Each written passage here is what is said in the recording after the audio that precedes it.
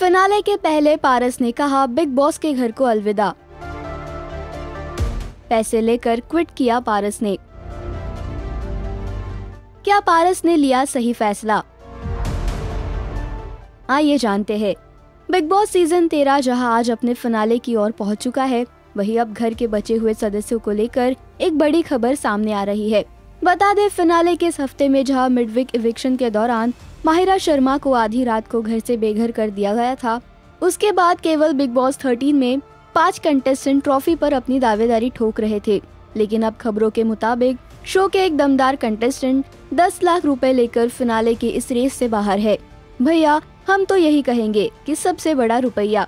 दरअसल, ये कंटेस्टेंट कोई और नहीं, बल्कि पारस छाबड़ा है। जिन्होंने 10 लाख रुपए लेकर बिग बॉस के घर को अलविदा कहा है। इस बात की जानकारी ट्रेंड न्यान के ट्विटर हैंडल द्वारा दी गई है। ट्रेंड न्यान के मुताबिक, फैंस खूब कमेंट कर रहे हैं और अपनी प्रतिक्रिया दे रहे हैं।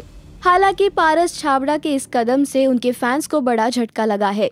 वही बता दे, बिग बॉस 13 के घर में अब केवल पाँच कंटेस्टेंट बचे हैं, जिसमें शहनाज गिल, आसिम रियाज, सिद्धार्थ शुक्ला, रश्मि देसाई और आरती सिंह है। अब देखना ये होगा कि इतने हफ़्ते बिग बॉस के घर में रहने के बाद ये ट्रॉफी किसके हाथ लगती है? वेल, ये जानने के लिए बने रहिए हमारे साथ।